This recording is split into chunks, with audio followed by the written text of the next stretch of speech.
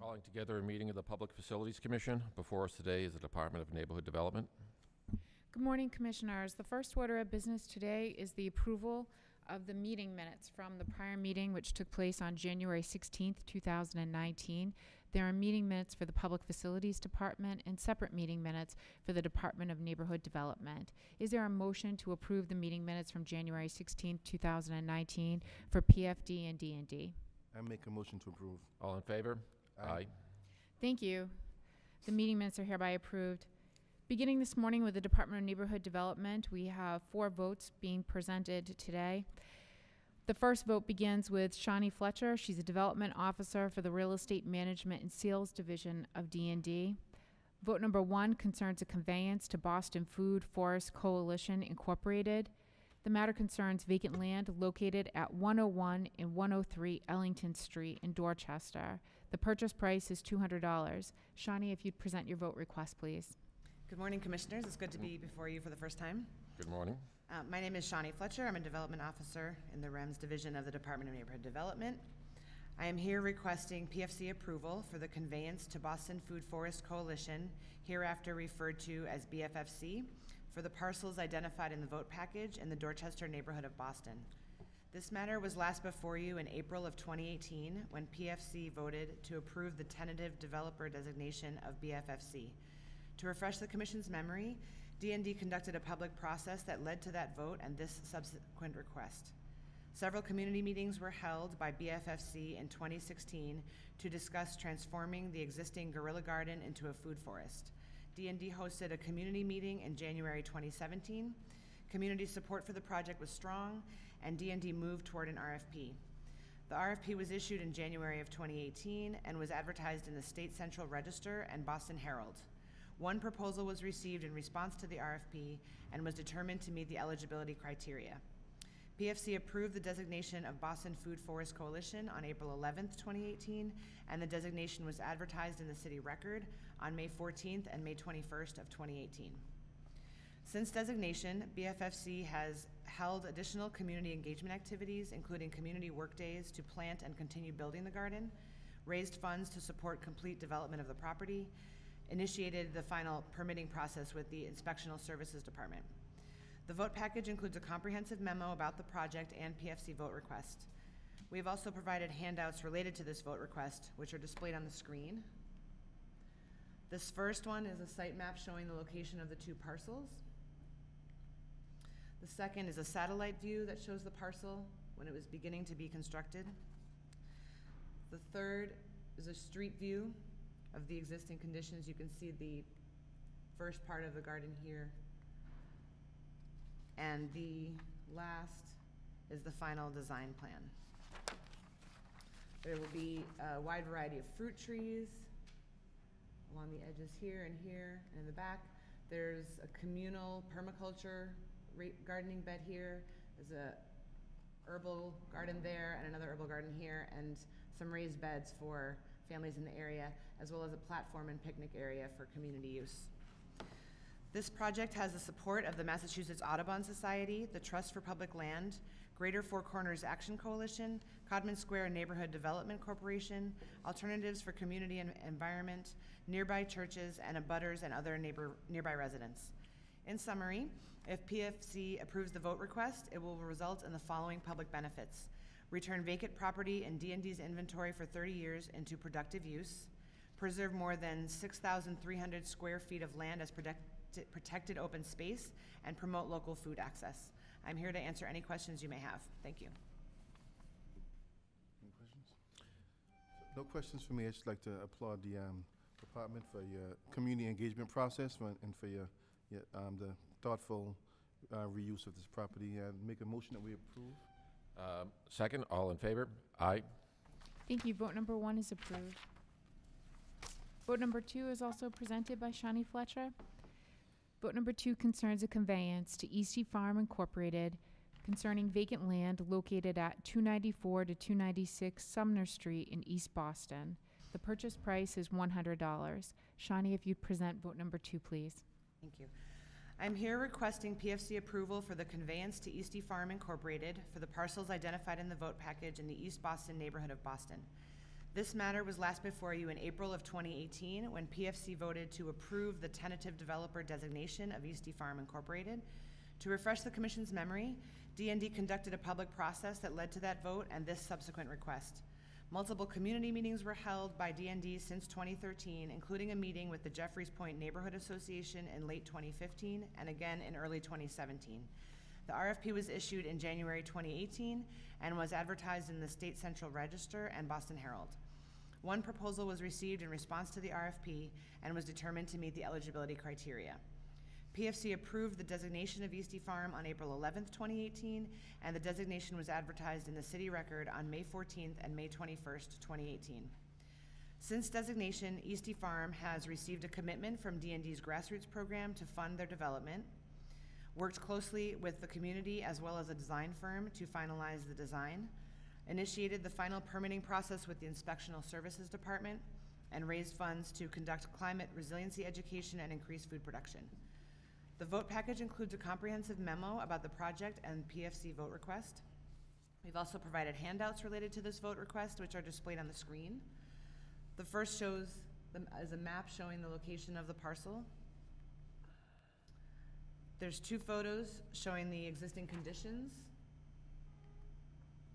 Where they've already begun gardening it. And the final design plan is the last. You'll see that there's, again, some space here for gathering and uh, a workspace. There's beds here. This farm is operated communally. The residents come and garden together and harvest together, and it's been working well since 2016. They also have a few fruit trees, Asian pears, and a persimmon tree.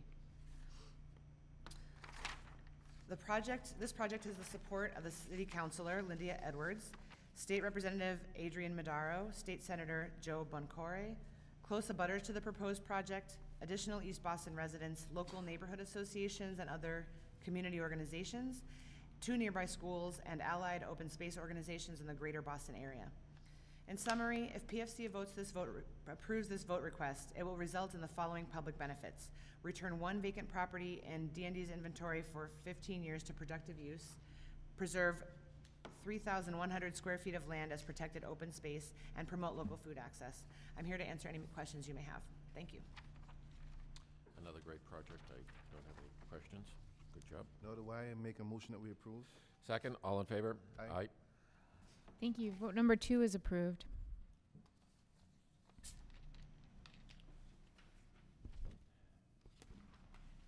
Vote number three is being presented by Shawnee Fletcher.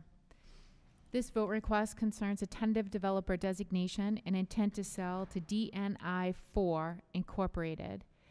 Vacant land located at an unnumbered parcel on Langdon Street, thirty-five Langdon Street, thirty-seven to forty-three Langdon Street, 123 to 125 George Street, 127 to 133R George Street. Each parcel is located in Roxbury. The purchase price in total is $500. Shawnee, if you'd present vote re- request number three. I am here requesting PFC approval for the tentative developer designation of DNI four Incorporated, a subsidiary of Dudley Neighbors Incorporated, a local community land trust well-established within the Dudley neighborhood of Boston, hereafter referred to as DNI, for the parcels identified in the vote package in the Roxbury section of Boston. DND conducted a public process that resulted in this vote request. DND held a community meeting in March of 2018 to discuss with community members the continued agricultural use of these parcels as a community farm. Supported, support by the community and the abutters was strong. A request for proposals was issued on April 17, 2018, and advertised in the State Central Register and the Boston Herald. One development team applied to the RFP and was determined to meet the eligibility criteria. Based on community feedback and D and D review of the application against the RFP evaluation criteria, we recommend the designation of DNI four Incorporated, who proposes to hold it within its land trust and lease the property to the food project. The food project worked with the community to clean up these parcels twenty-four years ago and has been maintaining these parcels as a community farm ever since, and will work with DNI to continue using these parcels to increase food access for neighborhood residents. The vote package includes a comprehensive memo about the project and PFC vote request. I've also provided two handouts related to this vote request, which are displayed on the screen. The first is an aerial map showing the parcel and its location. And the second is a photo of the existing conditions of the farm. The food project has a field here and a field here. They farm this land with youth uh, and other volunteers and sell the food at a very low cost to the community members and have, provide many donations across the city. In summary, if PFC approves the vote request, it will result in the following public benefits. This proposed development will permanently preserve and improve upon a community farm that is a tremendous asset to the neighborhood. In addition, the city will avoid paying approximately eight hundred dollars a year in annual maintenance costs and return this property to productive use after more than twenty-five years in our inventory. I'm here to answer any questions you may have. Thank you. Uh, No questions. Uh, Very good job presenting. Answered all the questions I had already. Um, I make a motion that we approve. Uh, Second, all in favor? Aye. Thank you. Vote number three is approved. Vote number four is also presented by Shawnee Fletcher. This vote request concerns a tentative developer designation and intent to sell to DNI Four Inc. vacant land located at twenty-five Folsom Street and twenty-seven Folsom Street. The properties are located in Roxbury. The purchase price is two hundred dollars. Shawnee, if you'd present vote request number four, please.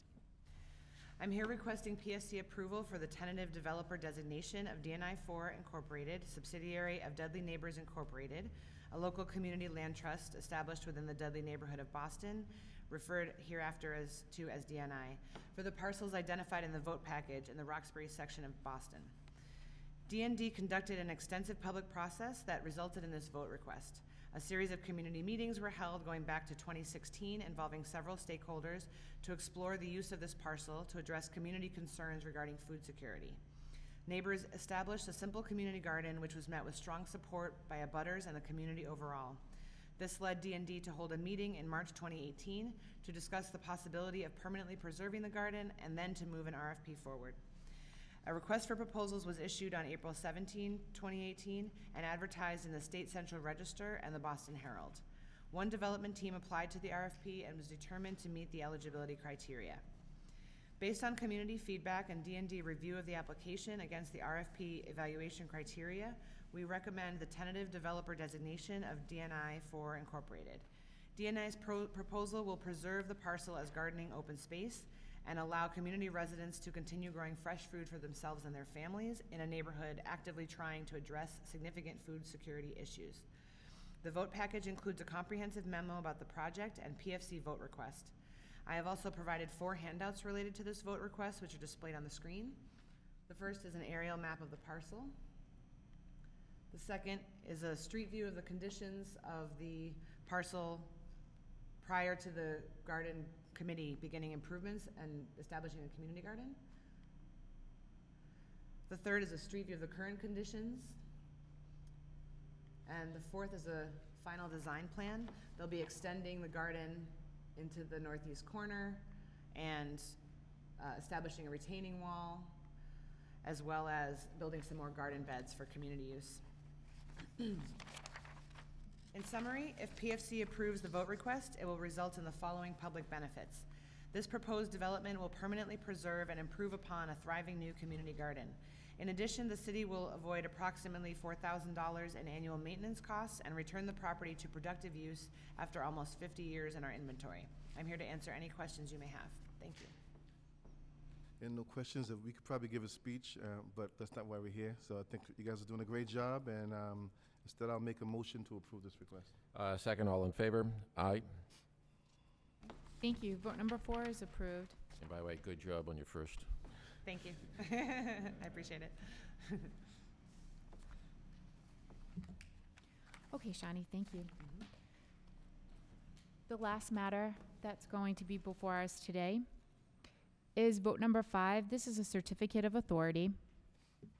This matter is being presented by Rick Wilson. He's the Deputy Director of Finance for the Department of Neighborhood Development. This is a straightforward matter that comes before the Public Facilities Commission on a routine basis when there is a new signatory who has authority to sign instruments to be filed with the Suffolk County Registry of Deeds or in the Suffolk Registry District of the Land Court. The person that's being added is Marcy Ostberg. She is the Director of Operations for the Department of Neighborhood Development. Rick or Marcy, if you have anything that you'd like to stay, um, now's an opportunity. Sure, thanks, Angela. Good morning, Commissioners. I'm just uh, really excited to introduce Marcy, uh, our new Director of Operations at DND. Um, For the past three and a half years, Marcy has been uh, leading our Housing Innovation Lab for the department, developing innovative uh, programs and policies to increase housing supply and housing affordability, and we're just thrilled that she's taking on this role. And she started in December. She's already been tackling uh, some, uh, some of our, uh, you know, or I guess, helping to make improvements in our operations. So we're really glad to have her in this role. Is there a motion to approve vote number five as presented? I make a motion to approve. Second, all in favor? Aye. Aye. Thank you. Vote number five, the certificate of authority is approved. Is there a motion to adjourn this portion of the meeting? To adjourn? Second, all in favor? Aye. Aye. Meeting is adjourned.